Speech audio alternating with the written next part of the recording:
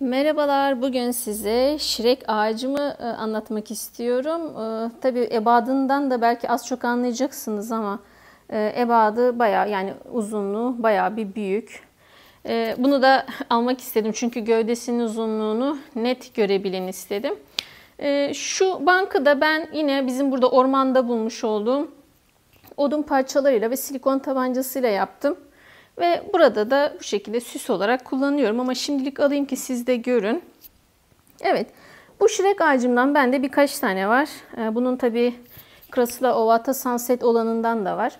Ee, bu e, ağaçlarımı ben daha önce yine Instagram'ımda paylaşmıştım ama YouTube kanalımda e, bunların e, hızlı çekimde nasıl aranjman yapılacağıyla ilgili bir video çekmiştim. Ve hala bu saksım da e, sağlıklı bir şekilde burada bu şekilde e, ben bunu da büyütüyorum. E, burada e, benim tabii bir önceki videolarımda daha doğrusu e, aranjman yaparken ki çekmiş olduğum videoda e, şu seramik saksıyı ben ne olarak kullanmıştım? Hemen onu da göstereyim bakın size. Evet, benim bu seramik saksım bir havuz görevi görüyor. Bakın bu şekilde ben e, içine suyu dolduruyorum. Ve e, ayrıca bu su yavaş yavaş e, şirek ağacımın tarafından da yavaş yavaş çekiliyor. Yani böylece yavaş salınımlı bir şekilde şirek ağacımda sulanmış oluyor. Buraya da variyete bir şey türü, aloe vera türü ama aloe vera'nın alt gruplarından bir tür. Ee, bakın gördüğünüz gibi bu şekilde ben bir e, aranjman yapmıştım. Ve e, bu aranjmanımı da şu anda e, evimin içinde tutuyorum. Çünkü bu şirek ağacımın boyutu benim e, bayağı bir büyük. E, diğer bir ismi de biliyorsunuz bonsai. Mesela gecede mesela bu mumu yakıyorum. Çok hoş bir görüntü oluyor. Videomun sonuna da onu koyacağım size. E, bakın böyle bir kendime e, minik minyatür bir bahçe yaptım. Tabi bankada ne yapıyorum? Böyle işte yeri geldikçe değiştirebiliyorum. Yani şuraya oraya gibi gibi. Bakın bu şekilde güzel bir aranjman. E, siz de yapabilirsiniz. Bakın gördüğünüz gibi e, bu küplerin olduğu yerlere de e, benim minyatür sukulentlerimden ektim. Çok da hoş oldu. Bakın banka ben böyle de koyabilirim. Veya işte ağacın ön kısmına da koyabilirim ama şimdilik şu burada konumlandıracağım. Çünkü size ben ağacın e, asıl e, görselliğini göstermek istiyorum. Çünkü ön tarafına koyduğum zaman oradan e, tam görünmeyecektir gövdesi. Bakın benim şirek ağacımın görüyorsunuz gövdesi bakın ne kadar kalın. Yani mesela elimle kavrarsam eğer baş parmağımla işaret parmağımı tam kavramıyor. Yani şöyle göstereyim döndüreyim size de görün. Bakın tam kavramıyor e, ve büyük bir e, gövdesi var. Yani e, Türkiye'de ben bu boyutta pek görmedim. Belki varsa da seralarda özellikle kaktüs sukulent hobisi de olan bazı seralar oluyor. Sahipleri bunları hani hobi olarak da büyütüyorlar. Onlar da genelde oluyor ama bu bayağı da bir büyük. Yani ne kadar derseniz mesela şöyle yapalım. 1, 2, yani yaklaşık benim iki buçuk karışım falan e, bir büyüklüğü var. Ama e, dediğim gibi görseli çok güzel bir bonsai ağacı kıvamında. Şimdi bunu ben nasıl büyütüyorum? E, her sukulentte olduğu gibi bunu çok sulamıyoruz. Hiç mi hiç suyu sevmiyor bakın. Bu diğer sukulentlerden biraz daha farklı. Yani hiç mi hiç suyu sevmiyor derken mesela ben en son Türkiye'ye ne zaman gittim? Eylül'de gittim. Yani Eylül sonuydu gittiğimde. Yaklaşık bir iki hafta kaldım ama onun öncesinde de tabii sulamamıştım. Yani bir, bir ay falan sulamadım. Ee, sadece işte döndüğümde azıcık suladım ve görüyorsunuz sağlam Güzel. Ee, bu dediğim gibi e, şey sevmiyor. Çok suyu sevmiyor ama çok da e, susuz da bırakmayın. Susuz bıraktığınız zaman da bu yapraklar buruşmaya başlıyor. E, nasıl çoğaltabiliriz? E, yapraktan çoğalabiliyor veya işte şu dalı mesela buradan kesip kurutup e, ekersiniz. Yine oradan da çoğalabilir. O şekilde korkmadan, çekinmeden şirek ağaçlarınızı budayarak da şey yapabilirsiniz, çoğaltabilirsiniz. Mesela bunu ne yapmışlar? Bakın burada bir dalı varmış. Bakın onu da şöyle size göstereyim. Heh, gördünüz mü? Bakın şurada bir dalı varmış. Bunu kesmişler gördüğünüz gibi. E, ne yapmışlar? Tabii ki onu da çoğaltmışlar. Yani onu da ekmişler, köklendirmişler ve muhtemelen de satmışlardır. Bu çok güzel. E, yani bunu canlı görseniz hayret edersiniz. Çünkü genelde hep bu şirek ağaçlarını 5 santimlik ya da 10 santimlik saksılarda görürsünüz. Ve e, o saksılarda da hani size görseli çok e, hani hoş görünmeyebilir. Çünkü biliyorsunuz sukulentlerde genelde çok renklenmiş işte ya da böyle yaprak yapısı çok farklı olan türlere doğru bir trend oluştu.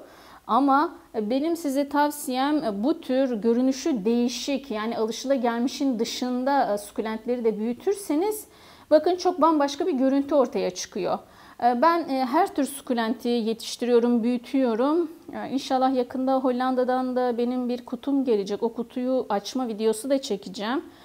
Tabii onu da görürsünüz. Yani orada da tabii değişik türler aldım ben yine. Ee, ve e, hani şey yapmayın, e, çekinmeden alın. Çünkü 5,5 santimlik saksıda alacaksınız ama belki e, hani 10 sene sonra o bambaşka bir görüntüyle size evinizde arzı endam edecektir. Bakın benim ağacım çok güzel, çok muhteşem bir ağaç. Ee, yani bunu ben çok seviyorum. Hatta evime gelen arkadaşlarım da buna bayılıyorlar. E, görseli çok bambaşka. Hmm, yani bu şirek ağacının dışında bir de para ağaçları var biliyorsunuz. Krasula ovatalar. E, ondan da var bende. E, sonraki videolarda ondan da çekeceğim. Bu şirek ağacının toprağı yine geçirgen olacak. Yani geçirgenden kastım hep biliyorsunuz. Çok para vererek toprak almanızı tavsiye etmiyorum. Bakın benim toprağım yine öyle işte pahalı topraklardan değil görüyorsunuz. Bakın saksımın büyüklüğüne. Saksım e, bayağı bir büyük. Yani çapı yani şu çap 50 e, santim kadar var. Yüksekliği de fazla. E, yani şu anda zaten kameraya hepsini alamıyorum. Bölüm bölüm çekebiliyorum size. Bu sabah bizim burada kar yağdı. Ben Instagram sayfamda da bu karı paylaştım. Hatta videomun sağ alt kısmına da şimdi karın yağışı ile ilgili sukulentleri nasıl koruduğumun e, kısa bir görüntüsünü de koyarım. Oradan da görürsünüz. Ve bakın e, pişerek ağacımı ben e, salonumda çok pahalı bir toprak karışımı yapmadan da büyütüyorum. Yani siz de bunu yapabilirsiniz. Sadece önemli olan bazı çiçek toprakları vardır. Çok nem tutar. Yani onu nasıl anlarsınız? Mesela o e, diyelim ki öyle bir e, toprağı bilmeden aldınız. Nasıl anlayacaksınız su tutan bir toprak olduğunu? E, çiçeğinizi ektiniz, sulamaya başladığınız rengi böyle kapkara e, un gibi bir yapısı vardır bu toprağın ve siz çiçeği ektiğinizde sulamak istediğinizde suyu döktüğünüzde o su böyle şey gibi olacak. Hani e, nasıl ki e, hani bir suyu e, nanoteknoloji olan montlar vardır mesela. Su akıp kayıp gider. Montun üstünde durmaz. Yani böyle mumla, mumyalanmış gibi yani mumlanmış gibi mumya demeyeyim de mumlanmış gibi mesela böyle üstünden akıp gider. O toprakta da öyle olur. Böyle su üstünde boncuk boncuk olur ve e, toprağın o suyu çekmesi e, biraz vakit alabilir ama o toprak o suyu çekti mi de inanın e, o e, şeyi e, suyu bünyesinde tutar ve sizin bitkinizin kökünü maalesef çürütür. O nedenle e, benim size tavsiyem e, toprak aldığınız zaman mümkün olduğunca e, şey yapın. Böyle içinde fazla karışım olan toprak alın. Zaten toprakların dış ambalajlarında da yazıyor. Yani içinde şundan şundan şundan vardır gibi yazar. Yani bu iş gönül işi parayla da alakalı biraz. O kadar para vererek harcadığınız sukulentlerinizin toprağına da Hani e, ambalajını e, daha doğrusu toprak ambalajını dikkat ederek de değer verebilirsiniz e, ki hani biz hepimiz buna dikkat ediyoruz ama bazen e, hani alışkanlık olmuyor. Direkt ya toprak işte çiçek toprağı gibi bir e, hani şey olabilir, düşünce olabilir ama öyle değil işte. İçine bakın, içinde ne var? Yani e, sizin sukulentinize uygun olmayan bir kimyasal olur, bir karışım olur. Hani keza bir kazaya denk gelmeyin. Yani kaza olmasın sukulentiniz, iş kazasına maruz gitmesin. O yüzden dikkat edelim. Yani en azından aldığımız toprağın içindeki karışımlara dikkat edelim. E, benim bir de bahçeli bir tane şirek ağacım var. E, şimdi onu da size e, çekeyim, göstereyim. Bakın Belçika'nın hava şartlarına göre şu anda ben şöyle yaptım mesela denemek için. Bu şirek ağacımın büyütü, daha doğrusu boyutu büyük olduğu için bunu ben riske atmadım. Bunu mesela salonumda ben büyütüyorum. Bakın direkt diğer şirek ağacımı da nerede büyütüyorum? Hemen onu da çekiyorum ve gösteriyorum size. Diğer şirek ağacımı da bakın bu saksıların altında korunaklı bir yerde şu aracman saksımın içinde burada e, büyütmeye çalışıyorum. Şu ana kadar e, herhangi bir e, şey donma belirtisi yok. Gayet sağlıklı. Bakın görüyorsunuz benim şu taş değirmeni bunu da ben kendim yapmıştım. YouTube kanalımda da yapımını paylaşmıştım. Yani bunların hepsini ben kendim yaptım, kendim topladım. Bakın bu şekilde ben şirek ağacımı bahçede de büyütebiliyorum. Hatta bu bayağı da büyük bir gövde şirek ağacı. Ee, hani saksıyı dışarı çekmek istemiyorum çünkü şu anda yağmur da var ve e, toprağı da ıslak. Daha da yağmur alıp çürümesini istemiyorum. O yüzden size hani bilginiz olması açısından bakın bir saksımı da burada bu şekilde büyütüyorum ben. Şirek ağacımın yapraklarının e, nasıl sağlıklı olduğunu göstermek için de kamerayı e, tripoddan aldım. Ve bu şekilde de yakın çekim yaparak size göstermek istedim. Bakın gayet yaprakları sağlıklı, şık, zarif. E, demek istediğim illa sukulent derken Echeveria türü, graptı türü ya da diğer nadir türler yine evet alıyoruz, büyütüyoruz. Ama benim size tavsiyem bu tür görünüşü farklı olan sukulentlerden de alıp yetiştirmeniz.